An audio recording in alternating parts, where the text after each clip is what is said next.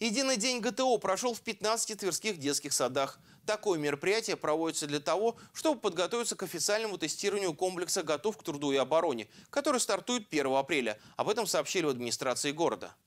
Юным спортсменам в возрасте от 6 до 8 лет необходимо поднять тело лежа на спине, сгибать и разгибать руки в упоре лежа, наклоняться вперед на скамье, прыгать в длину, а также метать теннисный мяч в цель.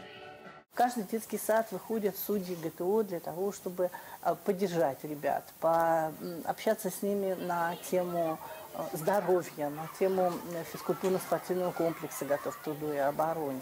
Ну и, конечно, посмотреть действительно, как готовятся дети к весенним уже стартам ГТО.